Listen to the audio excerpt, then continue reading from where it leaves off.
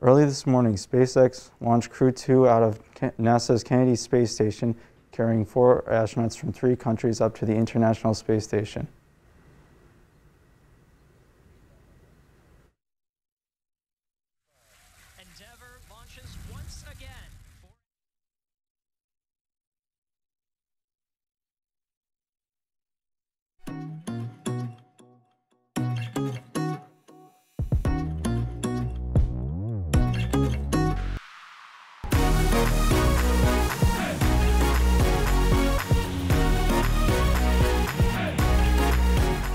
Good morning, ESM. At West Genny, two students did what is called the George Floyd Challenge, where someone kneeled on another person's neck. This is the second time students have done this on social media, but the recent post was from a different school. Students from West Genny plan to go on a rally today, and the superintendent is encouraging it. In other news, on Tuesday, a child reported trapped inside a vending machine at Destiny Mall. Firefighters from Engine Company 2 and Rescue 1 responded to the call and were able to disassemble the machine and get the child out and no one was injured. Attention all lifters! The weight room will be closed at 5 p.m. on Monday, April 26th and Tuesday, April 27th. Please see Coach Twitchell with any questions and please stand for the Pledge of Allegiance. I pledge allegiance to the flag of the United States of America and to the republic for which it stands, one nation under God, indivisible, with liberty and justice for all.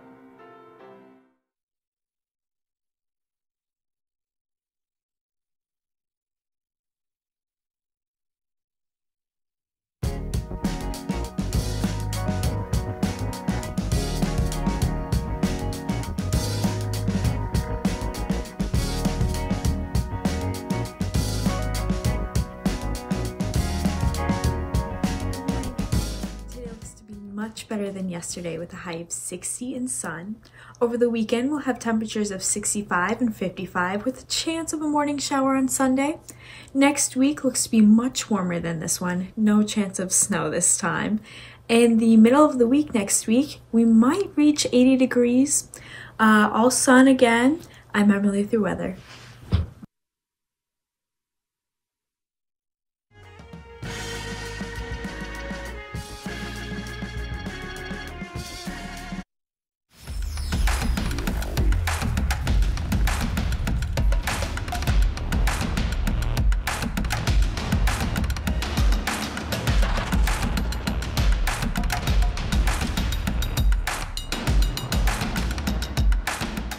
Last night, the JV girls volleyball team defeated JD last night two sets to one. They were led by the strong serve of Brooke Kirkpatrick to wrap their season up, finishing with a record of 13 and 1. The varsity girls volleyball team lost to lost 3-0 against JD last night with lots of effort by Elena Day, who had eight assists and had two aces to contribute to the game. The girls finished their season with a record of 6 and 7.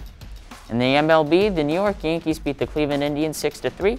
Gleyber Torres had three hits on the day and one RBI. Kyle Higashioka had two hits, one being a 420-foot solo home run in the eighth. In the NBA, the Anthony Davis returned to the Lakers starting lineup, but the Lakers ultimately lost to the Dallas Mavericks 115 to 110 with Luka Doncic pouring in 30 points. NBA prospect Terrence Clark died in a car accident last night in Los Angeles. Clark went to Kentucky and was a five-star census All-American. In upcoming games, the boys volleyball team plays at Oswego. The football team plays Saturday at home against Shady. And I'm Tanner Lee Sports. And from everybody here in the morning show, hope you have a great day.